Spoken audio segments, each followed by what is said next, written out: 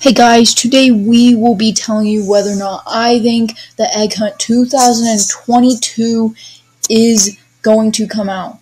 So if you don't know what the Egg Hunt is, it's this really, really old thing where you players can collect eggs and win prizes from completing these tasks. The last egg hunt, which we know of, is 2022.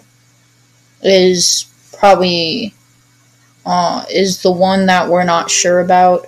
So, um, the last egg hunt was 2020, but then Roblox just kept on releasing a bunch of old events back, like a holiday event and it just felt like they were bringing back all the stuff they discontinued.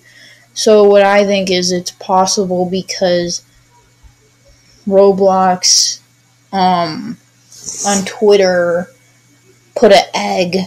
It all started KreekCraft and then Roblox put an egg and everyone just were like, oh my god, egg hunts were coming out. That was just a joke.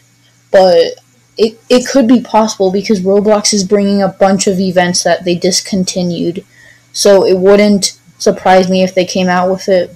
Part of me says they may not come out with the Egg Hunt 2022 because Roblox, because the Egg Hunt isn't, uh, it, it's not allow Easter isn't allowed in every country, so uh, that's why they removed it. So yeah, um, that's pretty much what I have to say about it.